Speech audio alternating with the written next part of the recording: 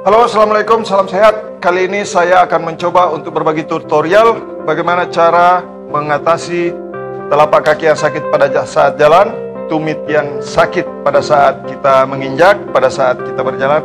Ada banyak keluhan dan ini berdasarkan permintaan dari teman-teman yang menulis di kolom komentar pada video sebelumnya. Oke, simak terus. Jangan lupa untuk subscribe, like, dan share. Halo, selamat datang di channel YouTubers Pijat Indonesia.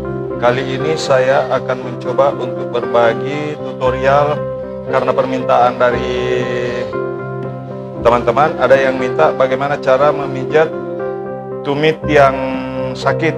Jadi di sini saya akan mencoba untuk berbagi pengalaman bagaimana cara saya mengatasi tumit yang sakit dan telapak kaki yang sakit pada saat kita melakukan aktivitas sehari-hari. Biasanya ada yang bangun tidur, telapak kaki sakit pada saat dipijakkan di area sini tentunya. Kemudian kadang ada yang sakit di telapak kaki bagian sini. Ya, jadi tumit yang sakit itu penyebabnya bermacam-macam. Bisa jadi karena mungkin ada lemak dalam darah yang mengkristal sehingga pada saat tertekan itu akan merasa sakit di area tumit sekitar sini. Kemudian ada juga beberapa waktu yang lalu ada keluhan pelanggan saya itu yang sakit justru di area belakang sini. Cara pijatnya saya akan sampaikan. Tapi sebelum lanjut silakan subscribe dulu. Yang belum subscribe, yang sudah subscribe silakan like dan share video kami. Mudah-mudahan bisa bermanfaat untuk orang banyak. Jadi teman-teman bisa menggunakan message cream atau kalau tidak ada message cream bisa karena kalau tidak licin, ini nggak bisa dipijat ya, agak susah untuk memijatnya. Jadi yang pertama-tama kita lakukan adalah meremas-remas seperti ini dulu. Diremas-remas seperti ini dulu. Coba ini posisinya seperti ini. Nah, kemudian diremas-remas seperti ini. Meremas-remas telapak kaki seperti ini, memijat-mijat seperti ini, pijat-pijat ringan dulu. Pijat di area sisi bawah Kemudian, jika ini terasa sakit, jangan langsung dipijat di area yang sakitnya, tetapi memijat di area belakangnya. Jadi, kenapa tidak boleh dipijat yang bagian yang sakitnya? Karena di situ bisa nanti timbul cedera jika dipaksakan untuk dipijat dan ditekan terlalu keras. Pijatnya begini dulu, ringan. Ini teman-teman bisa lihat ujung jari kaki saya bisa bergerak kalau ditekan di area sini karena memang meridiannya berhubungan. Jadi Teknik ini saya bagikan berdasarkan pengalaman saya menjadi terapis di Kota Palopo, Sulawesi Selatan dan beberapa waktu yang lalu sempat dipanggil ke Jakarta. Alhamdulillah saya bisa berbagi pengalaman, terdorong supaya bisa berbagi manfaat kepada orang lain dengan pengetahuan yang saya miliki. Jadi ini pijatnya adalah pijat refleksi ala pijat refleksi MM Kota Palopo. Oke. Mari kita mulai pemijatannya. Tadi pemanasannya saya ulangi. Pemanasannya boleh menekan-nekan seperti ini dulu. Tekan-tekan ringan dulu. Seperti ini. Ditekan dulu. Ringan. Kemudian menekan di area belakang Menekan di area belakang, ada titik pijat yang tidak boleh terlewatkan pada saat kita memijat. Ini, di area sini, di area atas tumit itu ada urat yang kalau ditekan, akan terasa sampai ke punggung kaki. Sementara di bagian yang belakangnya, di bagian yang belakangnya, di area yang belakang tumit, itu bisa terasa di area telapak kaki. Jadi berlawanan. Kalau yang di bagian luarnya itu bisa terasa ke telapak kaki, ya kalau di bagian dalam itu bisa terasa sampai ke punggung kaki Anda bisa rasakan sendiri.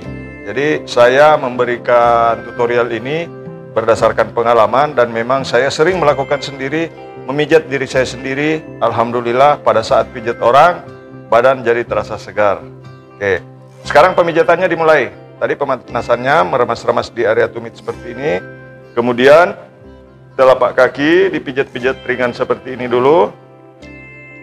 Yang berikutnya memijat-mijat seperti ini. Kalau yang sakit di area sini jangan sentuh dulu. Nanti akan hilang dengan sendirinya jika pemijatan ini dilakukan dengan benar. Oke. Cara memijatnya mulainya dari sini. Dari area belakang tumit mengarah ke telapak kaki seperti ini. Setelah sampai di area sini, sedikit agak menekan, tahan, kemudian lepas. Selanjutnya, kembali lagi ke sini, tekan ke arah bawah, sampai di area tengah, tekan, tahan, beberapa detik, kemudian lepas. Kemudian di area luarnya, jika di sini sakit, jangan paksakan untuk menekan dulu. Di area sini sakit, jangan paksakan untuk menekan di area sini. Tekan di area luarnya saja dulu. Tekan di area luarnya, kalau saya menekan di sini, akan ada gerakan di ujung. Ini metodenya pijat refleksi ya. Ala pijat refleksi MM Kota Palopo. Tekan dari samping ke arah ujung. Begini. Jadi gunakan message cream kalau tidak ada message cream yang sifatnya licin. Bisa dengan hand and body lotion. Tarik keluar seperti ini. Terus dan ini berlaku bukan hanya untuk orang yang sakit pada tumit, bermasalah di telapak kaki, tetapi jika dilakukan oleh orang yang sehat pun pasti akan terasa fresh setelahnya. Oke. Pijat dari area sini, terus sampai ke ujung. Setelah sampai di ujung sedikit agak menekan, kemudian angkat perlahan-lahan. Ulangi kembali sampai di ujung, tekan perlahan-lahan, angkat lagi. Kemudian ke area tengah. Jika di sini tidak sakit, jika di sini tidak seberapa sakit pada saat ditekan, lakukan pemijatan dengan seperti ini menggunakan dua jempol. Yang di atas menekan, tarik terus sampai ke ujung. Seperti ini. Kembali lagi berurutan ya.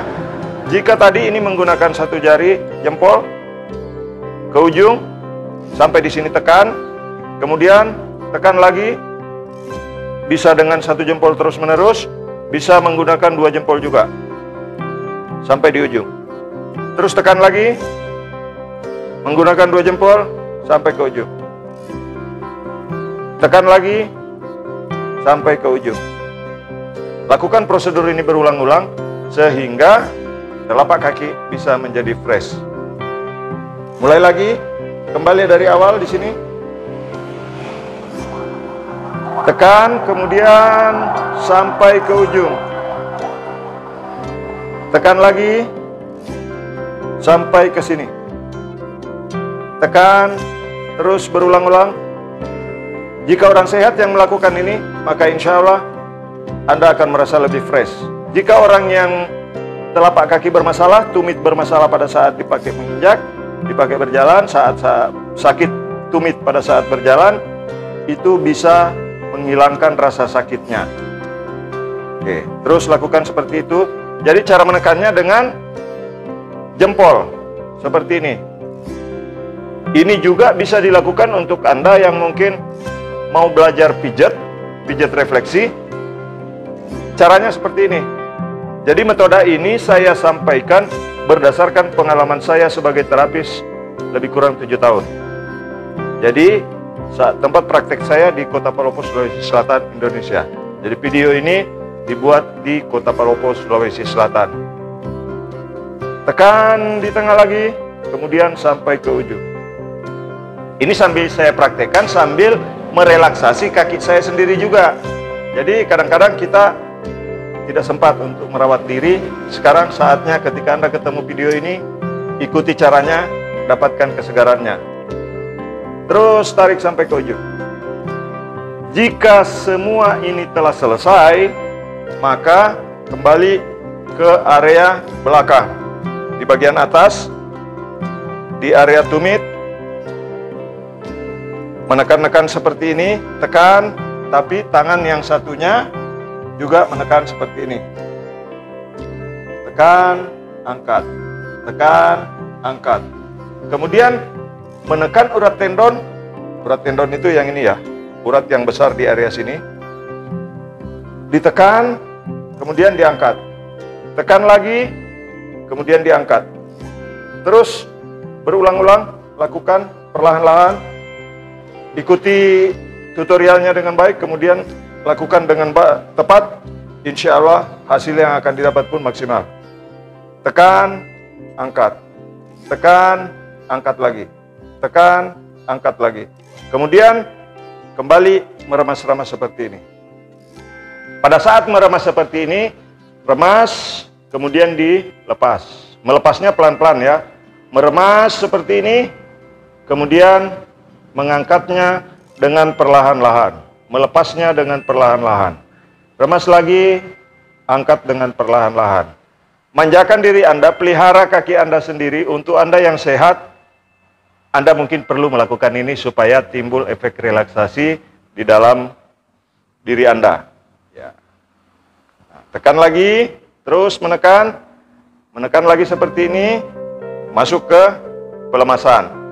Insya Allah, jika ini dilakukan dengan betul, maka tumit yang sakit pada saat menginjak, telapak kaki yang sakit pada saat berjalan, kaki yang sakit, mungkin ibu-ibu yang lagi hamil mengalami sakit di area telapak kaki, itu insya Allah rasa sakitnya akan berkurang.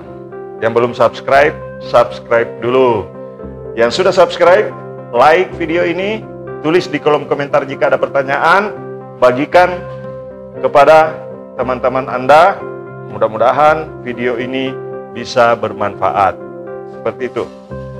Lakukan terus-menerus, regangkan ototnya, regangkan meridiannya seperti ini, menekan-nekan seperti ini. Sebetulnya ini hal yang sangat mudah dilakukan untuk menjaga kesehatan. Jika telapak kaki tidak bermasalah, maka tubuh yang lain pun akan jadi segar dan sehat. Jadi, teman-teman, silahkan untuk membagikan video ini. Jangan lupa untuk subscribe, like, dan share videonya. Terima kasih yang sudah menonton. Jika ada pertanyaan, tulis di kolom komentar. Salam sehat selalu, salam buat keluarga. Mudah-mudahan kita semua dalam keadaan sehat. Salam sehat.